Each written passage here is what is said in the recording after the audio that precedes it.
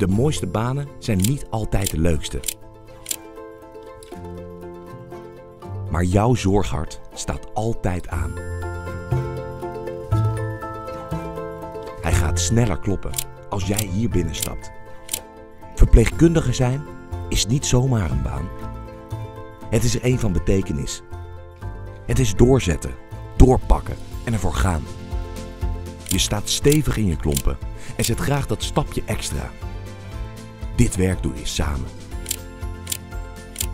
Met soms een lach en soms een traan. Werken in de zorg betekent ook werken aan je toekomst. Het is leren, proberen en doen. Maak de stap naar het echte werk. Zet de stap naar Franciscus.